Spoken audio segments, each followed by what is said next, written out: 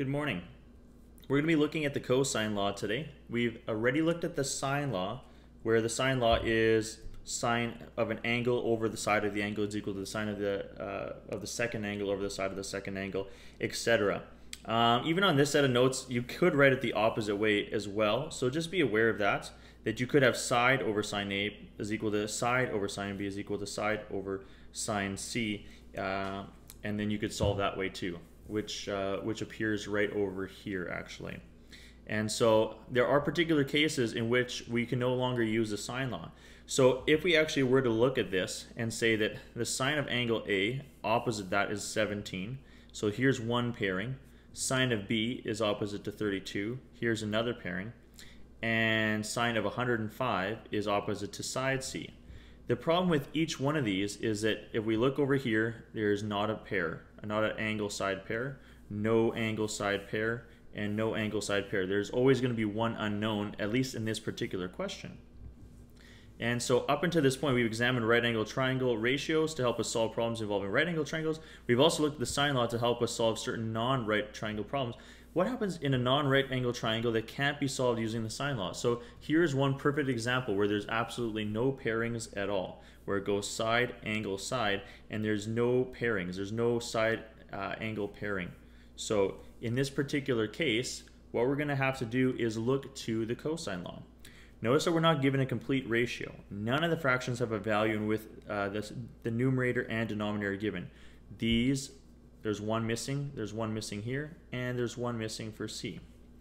Therefore, we can't use the sine law, and we got to use a new tool called the cosine law. So if we were to take a look at an example, for the triangle above, notice that we're given two sides and the size of the angle formed by these two sides. This angle is known as the, uh, we're not going to, known as the what? Like, I don't know. We could call this the side angle side uh, be, because it's found between the two given sides. Side angle side. the reality is that, is this is that if you're not finding a particular pairing and you're given three pieces of information you will be able to solve it using the cosine law not the sine law so that's the way that I've been trying to teach this uh, more recently is that find a pair if you can't find a pair you're not going to be able to use the sine law uh, as long as you have three pieces of information otherwise you should still be able to solve it using the cos law we can use the cosine law to solve it. Here is the formula. It's broken uh, broken up. Um, these are actually all the same. So you can just really switch up these letters, um, and as long as you're doing it in the proper order here. So if you have side B and C, there's side B and C over here. Um, side A is what it looks like you're trying to solve, and then there is angle A on the far side right over there. So these are all the formulas for when solving for um, an unknown side. And in this particular case, we could be trying to solve for C up above. We don't know what side C is, so we could use one of those formulas below. And why not be consistent? Use this third one right over here where we're trying to solve for C, so we might as well go and say C squared is equal to A squared plus B squared minus 2AB cos C. And that's going to be what will help us to solve for uh, the unknown side here. So I believe it's written exactly the same. So yes, it's the same exact triangle as on the other side.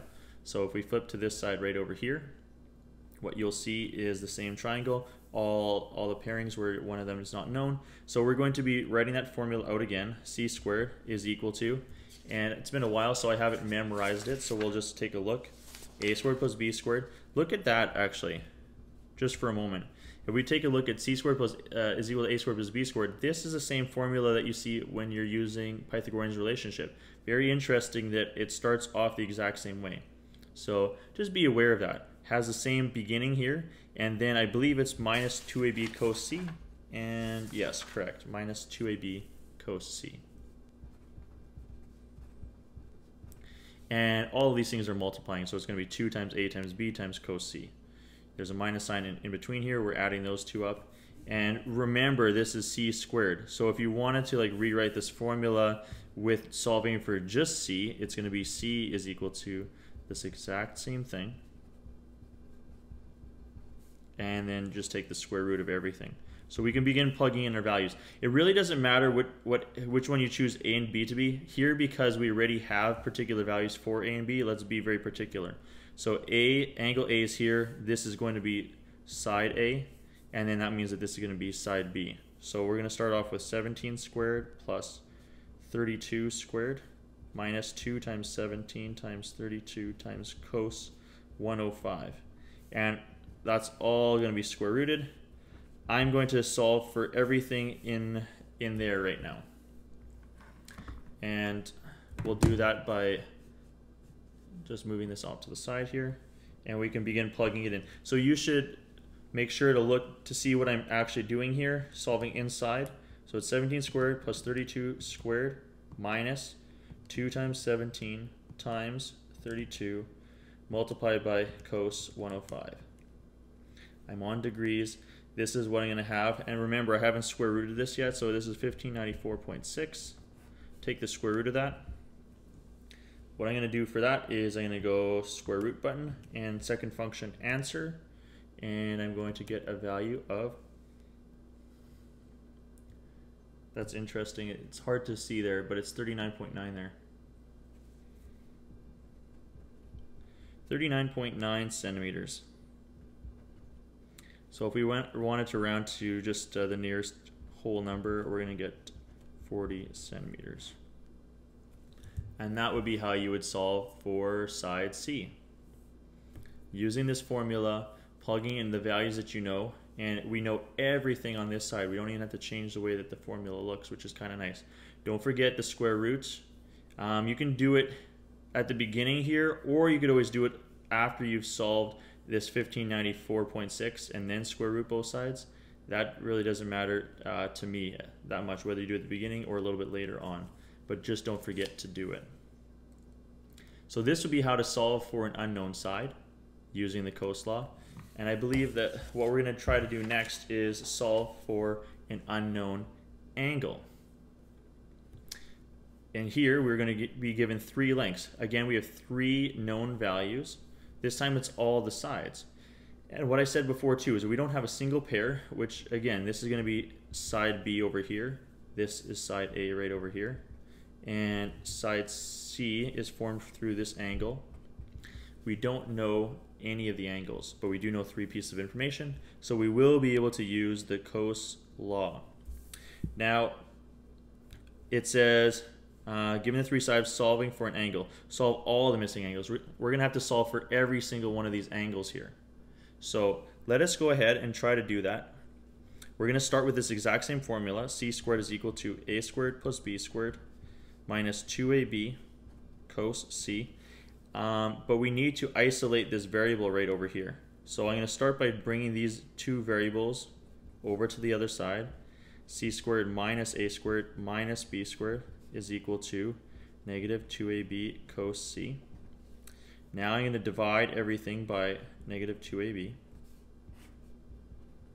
And we're going to get c squared minus a squared minus b squared all divided by negative 2ab equals cos c. And then if you remember, the way to isolate your angle, which is the unknown value here, this is the angle, we have to take the inverse of cos. So we're going to take the inverse of cos. And we're just going to swap these uh, the sides as well. Oh, sorry, I keep uh, not being able to show what's going on here. So I brought a squared and b squared over to the other side over here. Um, so I subtracted a squared plus b squared on both sides, brought it to the left side. Then I divided both sides by negative 2ab, and it canceled over here. And then lastly, I want to isolate just my angle. So I'm going to go c is equal to the inverse of cos of this entire fraction here. c squared minus a squared minus b squared all over negative 2ab. The nice thing is, is that if you write down this formula right over here, um, then you don't have to do step one, two, and three in the future. So if you want to use this formula right here for your cheat sheet when you're trying to find an unknown angle, that would be wise to do so. Do that. Now we just plug in our values. So we're going to take the inverse of what side C? Side C is opposite of the angle, side C is 30. This matters, all right? This matters, capital, exclamation point, all that kind of stuff. What side is C matters. Um, a and B, it doesn't matter which ones those are because those can be mixed. C matters. C is opposite to the angle you're trying to find. If you're trying to find this angle right over here, then this is C, and you're going to have to solve uh, accordingly. So please, this one can't be messed up. The other two doesn't matter if you mix up A and B. C can't be mixed up in this formula where you're saying that C is equal to all this stuff over here. Because look at this, both A and B squared are subtracted and they're both on the bottom here. C is the lone value that's uh, that's like by itself right over here. So it very much matters that you're choosing the, the correct value for that. Um, now A squared is going to be 18 squared, 22 squared, all divided by negative 2 times 18 multiplied by 22. And now we're going to plug this into our calculator here. So again, I'm going to just calculate what's in my in my brackets first, and then we'll worry about everything else. So we're going to go open the brackets here, be 30 squared minus 18 squared minus 22 squared. I'm going to close the bracket. So I'm going to have brackets just on the top, and then I'm going to have brackets just on the bottom. So then I'm going to go divided by, open my brackets again, negative, whoops, negative 2 multiplied by 18 multiplied by 22. And then I'm going to close my brackets. So the calculator will calculate the answer on the top, calculate the answer on the bottom, and then divide the two. So we're going to get some type of negative value right over here, negative whatever. And still, we're taking the inverse of this value. Um, and I'm going to go dot, dot, dot. Next, second function cos, second function answer. And we're going to get a value over here. C is going to be rounded to the nearest degree, 97 degrees. Which makes sense. If we look over here, this is an obtuse angle, so 97 degrees makes sense. Once we've solved for C, we can now use the sine law. So we're going to use the sine law to solve for the next thing. Why? Because we have a pair. So we're going to go back and and take the one extra decimal place here for for our value there. So we had 97, but let's uh, let's round it a little bit less so we get a more accurate answer when we do this. Sine of our angle divided by the corresponding side is equal to sine of A over that corresponding side, uh, which happens to be 18. Now I can solve for sine A. So remember, sine A is going to be the cross multiplication then divided by 30. So cross multiply then divide. So we're going to go 18 sine 96.7 and then get our answer divided by 30 and we get a value of 0.5959 and we're going to take the inverse of that answer remember? That's what what a is going to be equal to. If we want to isolate this variable we're going to have to take the inverse of that answer right there so let's take the inverse of that value, sine, second, second function sine, second function answer, and that rounds to 37 degrees. We've solved for our two angles. To find our final angle B, that's just going to be 180 degrees minus 97 minus 37.